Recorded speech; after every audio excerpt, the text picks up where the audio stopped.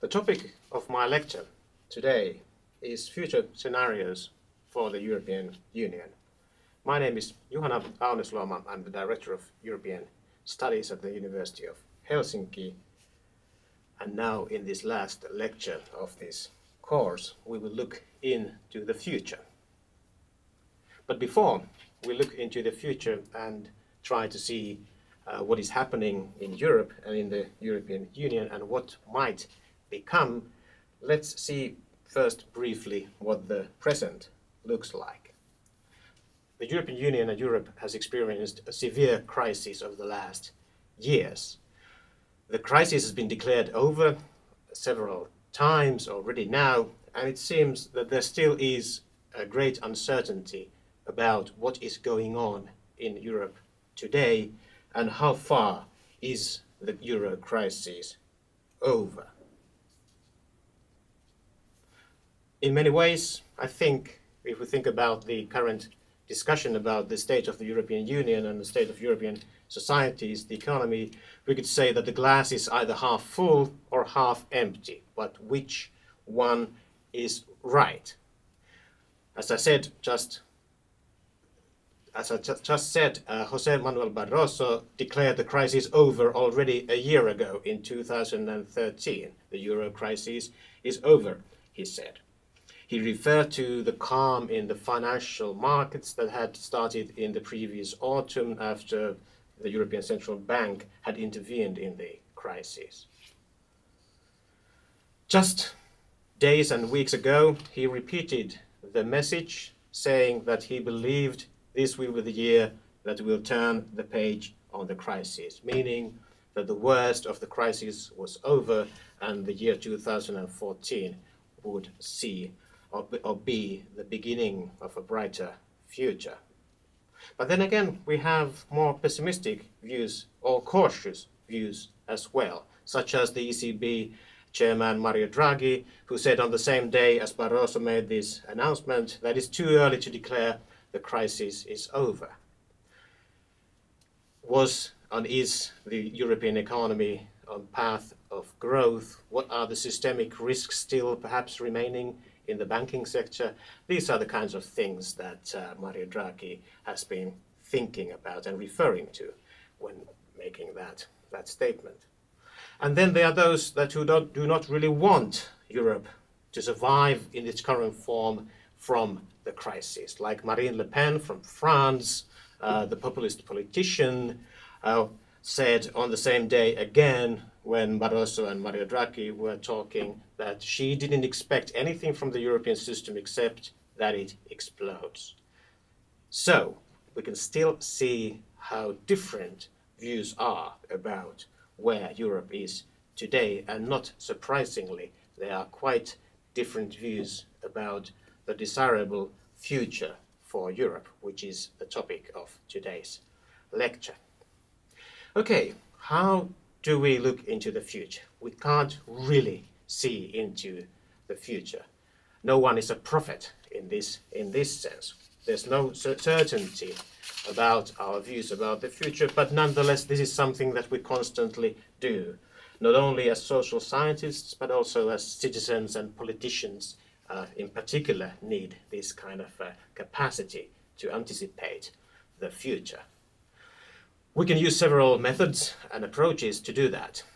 We can analyze current trends, we can use historical information of what has happened, and then combining this information with an understanding of the logic of, change, with theoretical and conceptual understanding and tools, we can make predictions of of those trends.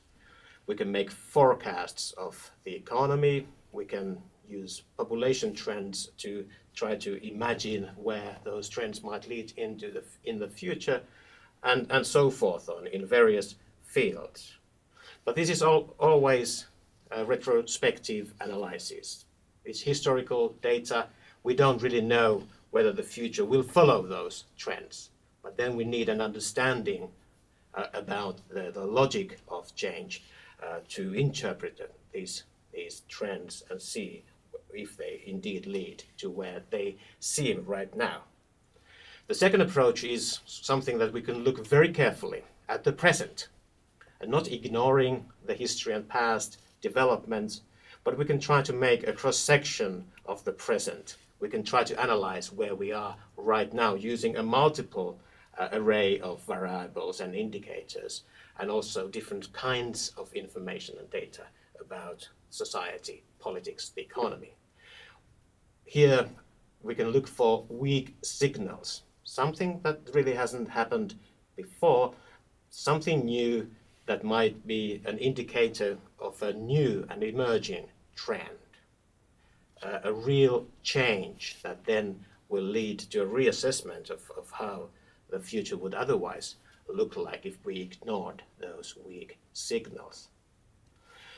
Well, then using these two methods and, and probably others, we can make scenario exercises about the future. We can then try to analyze, but also to imagine how the future might look like. We don't know, but we would prepare different scenarios of alternative futures. They could be analytical, using data, theories, different kinds of information, and they might tell us uh, what may happen. But this kind of scenarios can also be normative, meaning that we could try to see how the future should look like. This is something that is, that is usually the task of politics, to imagine those futures uh, to imagine utopias, desirable futures, but then also dystopias, futures that we do not want for, for one reason or another. Hence, we may have to do something today to avoid those dystopias coming through, coming, true. Okay, before going into, into um, the future more deeply, let's briefly look back some years back in time and see how did the future look like at some points of the crisis that started in earnest in Europe in 2010. It's interesting that these kind of predictions about the future has been a constant feature of the crisis itself. A lot of predictions have been made about the future. A lot of utopias and dystopias have been outlined during the crisis. Indeed, this has been one of the features of the crisis, that there's been so much uncertainty about the future that it has led various actors and institutions to de think deeply and hard about the future. One example of this kind of uh, thinking is the Europe 2020 strategy that was adopted by the European Union in 2010. The work for this strategy naturally had been done before the crisis. But it's interesting that its timing coincided rather well uh, with the beginning of the of the bailouts in Greece in 2010, in the spring 2010, when the European Commission launched the Europe 2020 strategy in March 2010.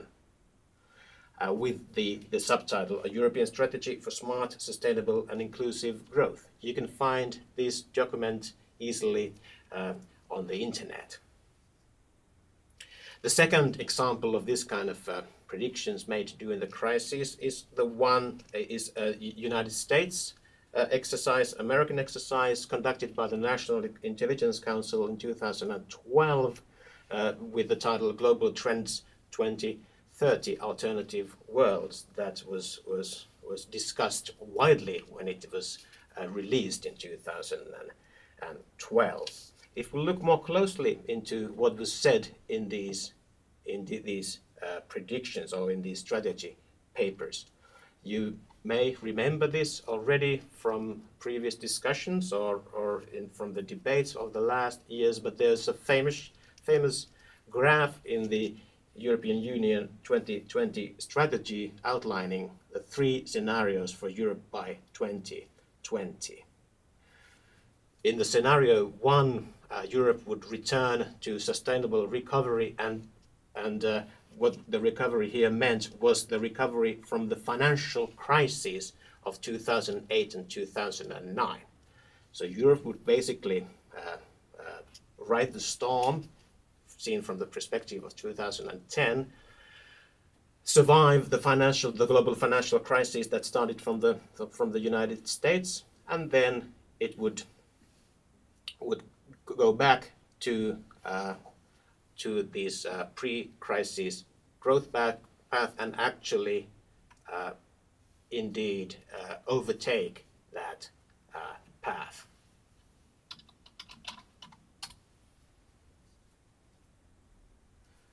The scenario two, called sluggish recovery, again referring to Europe's uh, Europe's uh, recovery after the financial crisis of 2008-2009 would see Europe lagging behind the pre-crisis growth path, but nonetheless growing, gr having a growing uh, economy and basically uh, an economy that might fulfill the other goals uh, of this 2020 strategy that was that were rather ambitious, if you remember. And then the, the third scenario, there was some kind of a horror scenario in this uh, strategy, the lost decade scenario, where as, uh, as an outcome of, of Europe's certain vulnerability in the financial crisis, it would have suffered a permanent loss in wealth, a potential for future growth, and Europe's uh, growth pattern would be substantially lower than the one it was on before the financial crisis hit Europe in 2008. One of the weaknesses of, of this uh, strategy from, from the, 20, uh, the 2020 strategy was, the, was the, that it could not really see the euro crisis. It nonetheless is implicit in the text and, uh, and it, it can be seen there as well, but this is one of the, the major weaknesses of the strategy that it could not really analyze for natural reasons, because it was launched before the worst crisis hit, uh, that you could not really analyze uh, the, the outcomes and the, the developments and, the, and what, what followed uh, the euro crisis of 2010 and 2013. If we then, then look at the American views that were presented in the Global Trends 2030 report in 2000 and, in 2012, uh, we can see there a basic assumption that despite the current uh, difficulties and, and, uh, and hardship in Europe as a result of the combined effect of the financial crisis and the euro crisis, the assumption nonetheless was that Europe would remain a great power in 2030. But there were still conflicting for forces of fragmentation and integration that would make Europe an inherently unpredictable actor on the global and international scene. And this was because it really wasn't a political union. It didn't have the political unity to make it really an effective global power. It would have a lot of power due to its economic wealth and its population and its position in the European in the in the world financial and economic system. But in this uh, scenario exercise the National Intelligence Council carried out, all the experts agreed that in any case, the Europe of 2030 would look very different from the Europe of today. Big changes would take place, was the consensus analysis. Because the experts saw uh, Europe's main weaknesses to be structural.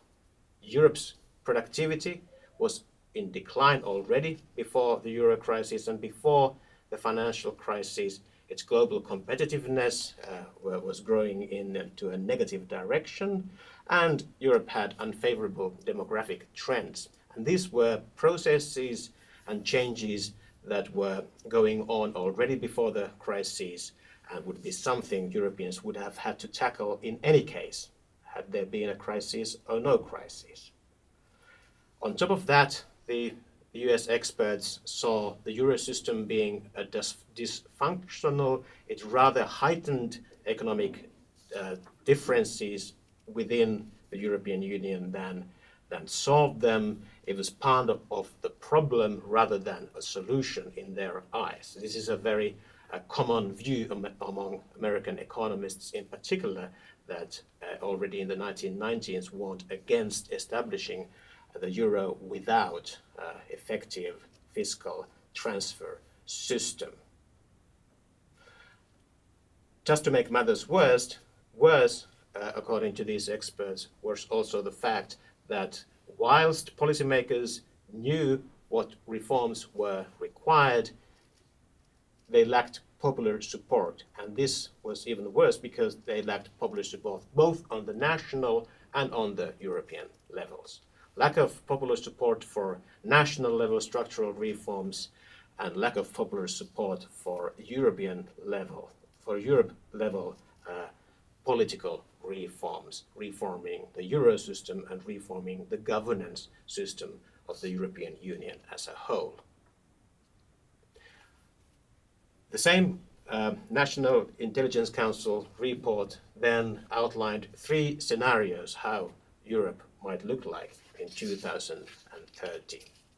The first scenario was the collapse scenario where not only did the European uh, economic governance system collapse, but also this economic uh, collapse would lead into political uh, collapse in the existing European institutions and in their functionability. The Eurosystem would disintegrate, leading into even worse disintegration in the core areas of integration, such as the common market, the internal market, uh, Europe's common foreign and security policy, and other important areas, and true achievements of, of Europe over the decades. Nonetheless, this scenario was thought to be uh, unlikely. The probability was low, but nonetheless it was listed because it was the one that would carry with it serious international risks. Uh, risks from the point of view of the international economy, but also from the point of view of the global governance, the global political governance, where the voice of the European Union would no longer be heard, and an important ally for the United States would be seriously weakened. The second NIC uh, reports uh, scenario is the slow decline scenario, where Europe would escape from the worst crisis uh, it would somehow recover economically from where it was in the worst moments of the crisis. The recession would eventually end, but structural reforms would fall short, meaning that Europe would not catch up with the rest of the world and it would not be able to return on the path of regaining competitiveness, competitiveness and productivity.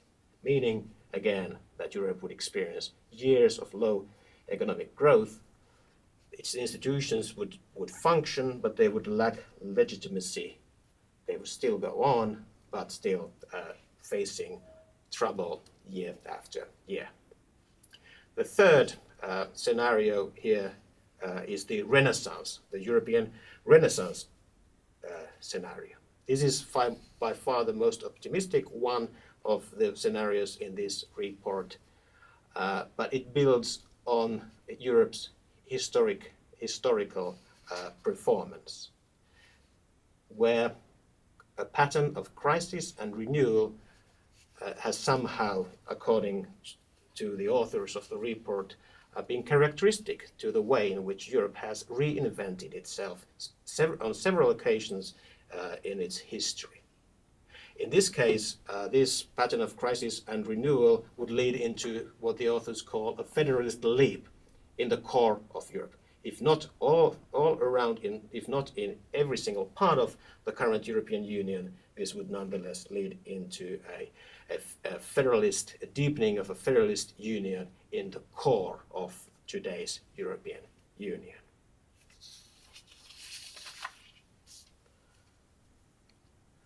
In addition to these two examples, there were many, many others, other, others who tried to see into the future during the crisis in 2010 to 2013.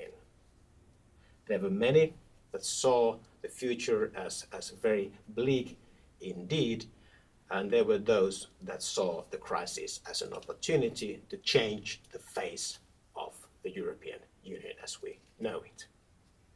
Uh, what was characteristic to the views expressed during the crisis was a certain polarization of these views.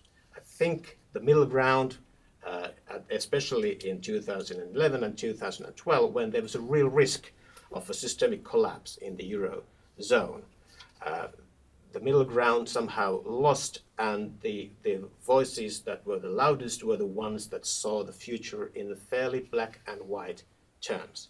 This is characteristic, of course, to the crisis situation when there was a considerable uncertainty about the future. Then these kind of fears or hopes uh, emerged. First of all, we have the doomsday scenarios during the crisis that saw uh, an imminent collapse in the European economic system, leading into a collapse in the political system.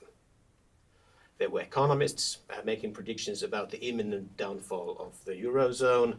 There were Eurosceptic political movements, uh, more or less uh, speaking in the same terms, and especially the English language or the United Kingdom press and analysts were increasingly and, and very critical about the prospects of the current European Union and especially the Eurozone to survive from this crisis. Some think tanks uh, produced uh, papers uh, saying more or less the same thing. That there was a systemic meltdown imminent. Euro the euro was on several occasions uh, given only days to survive.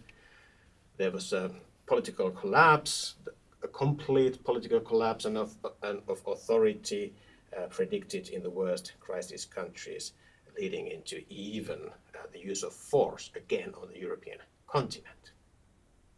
But on the other side, uh, and on the other hand, there were also those that saw the crisis as a true and real opportunity for Europe to renew itself. Uh, we can see uh, as a resurgence of federalist visions uh, during the crisis, and not only on the level of uh, federalist politicians and political movements, but also in papers produced by key EU institutions such as the European Commission and uh, the European Council President's report in the autumn 2012 outlining uh, what a true economic and monetary union uh, would look like, uh, presenting a considerable deepening of the current economic and monetary union into a true fiscal union with all that came with that concept. This uh, vision was more or less buried in the European Council of December 2012, but nonetheless, it's an important report because it represented the joint views of these institutions. Also, an important part of this call for a more federalist uh, or federal, uh, stronger uh, European Union with stronger institutions was a, a call for political and European solidarity.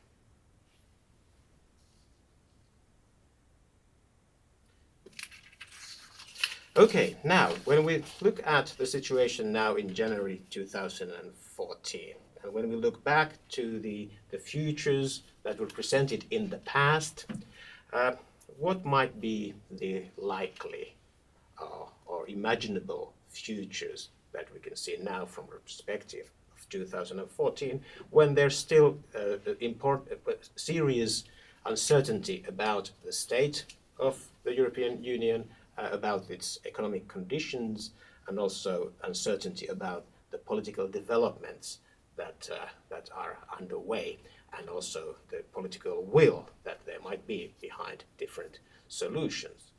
Nonetheless, we can see a reversal from the black and white thinking, uh, a reversal from the utopias and dystopias, and we can see in, in, in the discussion today a moderation of. There are still several futures that are anticipated for Europe as a whole, but nonetheless, uh, these views have become uh, more uh, moderate in many ways. Here I will only present two different alternatives. I will not go into into discussing a, a very federalist or federal uh, vision of Europe in the future. It may come, it may happen, but right now I don't think it is very likely that the European Union will develop into a political federation uh, according to the vision of the federalists or indeed the visions outlined in the European Commission and the Council of Presidents reports from 2012.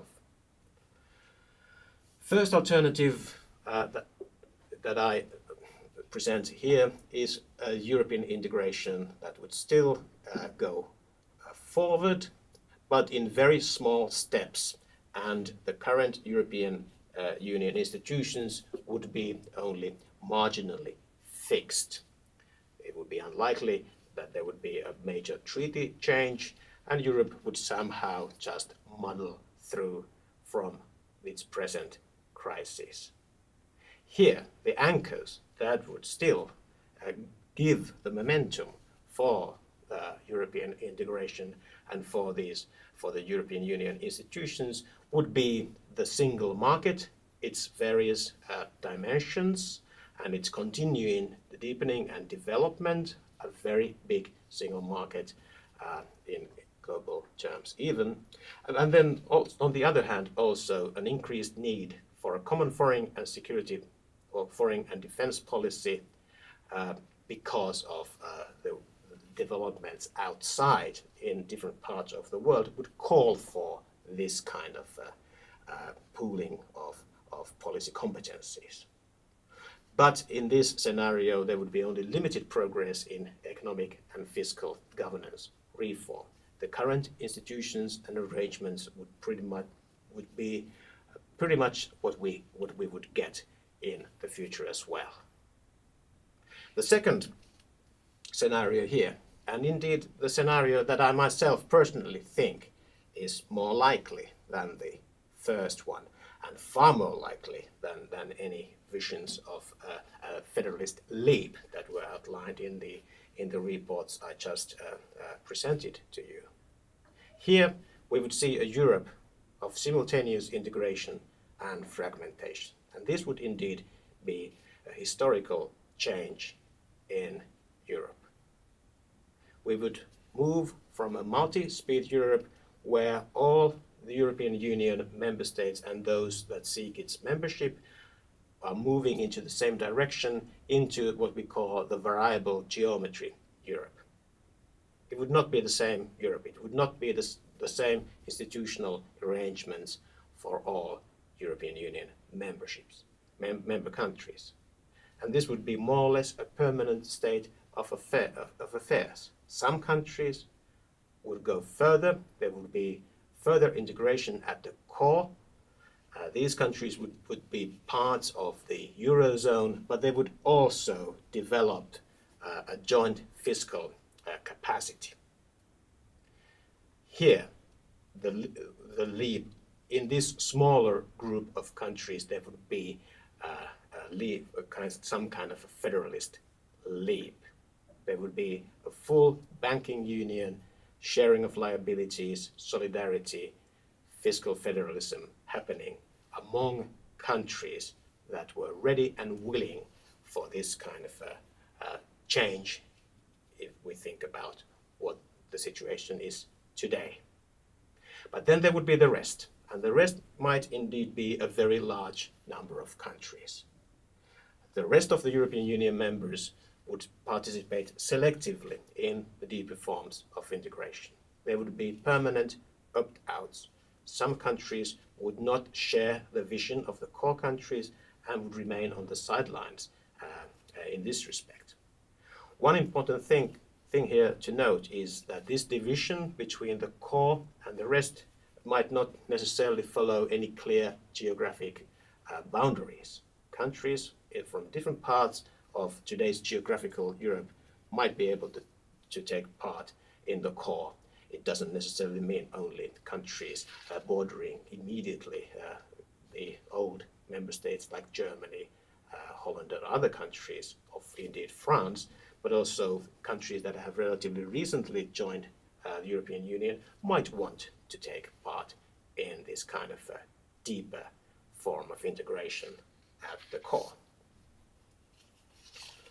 Now, we need to of course, assess the likelihood of different scenarios. We can imagine different futures, but it's important for us also to think about the political processes that may lead into different futures. For two reasons. We need to think about the changes and the political decisions that are necessary for change that we want. But then also, as analysts, we need to think about the likelihood of certain political decisions to be made. And here I present you with, uh, with a simple template of assessing uh, these kind of things. I divide uh, here uh, decisions or institu institutional change or, or particular policies or reforms into ones that have either lower or higher economic cost or lower and higher political cost. Economic cost, of course, is fairly straightforward. Uh, a failed economic reform has high economic costs. Recession or depression has high economic costs.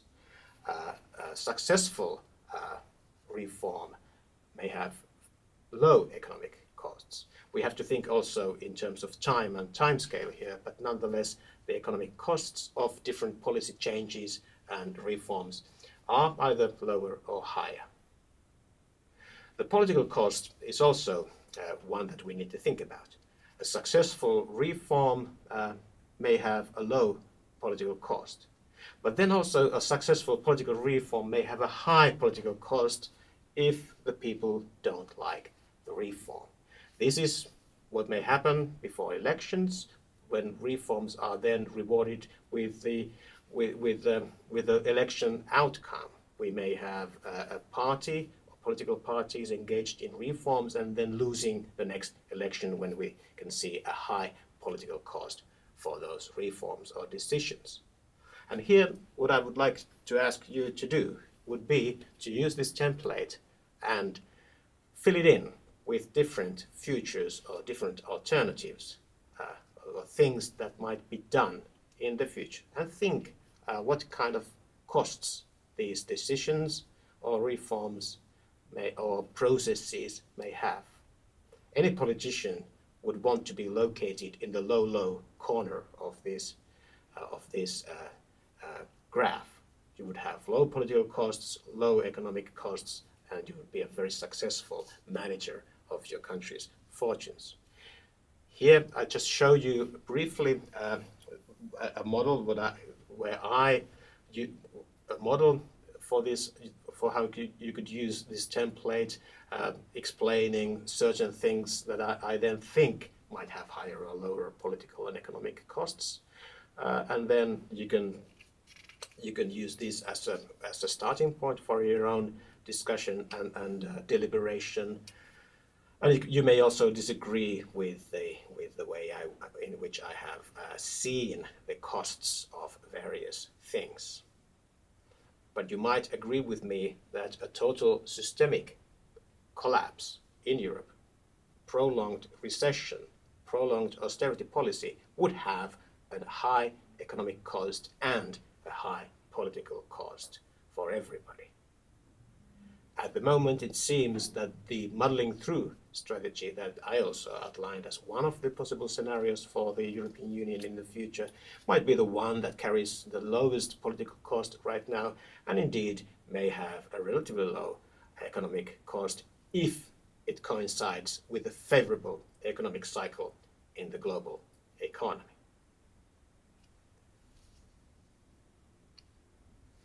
Lastly, and to end this lecture, I, let's have a quick look at the near future. We don't really know uh, what will happen by 2020 or 2030. We can imagine, we can think about it, we can talk about it. But now in 2014, uh, there certainly will be some things that will happen and there are some question marks then uh, about these uh, things that are going on. First of all, today, this year we'll have the European parliamentary elections in May. Now the question is whether there will be a new political balance in the parliament and what would be the significance of the outcome of the election for the governance reforms in Brussels, be they in the economic sphere or more broadly in the way Brussels functions and is accountable to the citizens of Europe. We will see, but right now it's hard to say which way this will go. The second thing is the implementation of the banking union that took a leap forward uh, last uh, in the last uh, December. But there are still open issues and question marks about the functioning of the banking union and the extent into which it, it includes uh, elements of joint liability. We don't know how efficient this will be, whether it will, will really be enough for the future banking crisis in Europe. The third thing is whether the economic crisis, whether the worst of the economic crisis is over, uh, as Jose Manuel Barroso in his statement uh, earlier this month said. Is 2014 uh, year which, in retrospect, will be seen as the end of the Great Recession in Europe that started after the financial crisis in 2008? But then there, the question mark is what are the long-term effects of the crisis and of the recession or depression we have seen in Europe over the last years? Again, this is something we will only see uh, when we wait, wait and see and see how things turn out.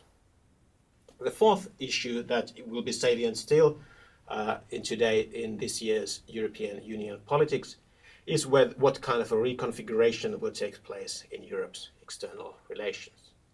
And here, three areas are important. First one is Europe's the European Union's relationship with the United States, the uh, transatlantic relationship. What kind of a role will the European Union play in the future in the United States global policy? In an era where the Afghanistan and Iraq wars will be a part, will be a part of US and Europe's history rather than the present. Related issue here is the, the way in which the uh, the, the trade talks will go uh, between the European Union and the United States. The second area of interest is what goes on outside Europe's own borders. How stable or unstable this neighborhood of ours will be in the future and what kind of influence Europe will have outside its own borders is again an issue that we'll see something uh, happening this year as it has uh, in in years past as well. And then if we look at the global level, then it is important to look at what goes on uh, with the other economies and the other political powers, the emerging political powers and economic powers around the world, and how this changes uh, Europe's position globally. We could talk about BRICS, MINTS, CIVETS, Next 11, and all that.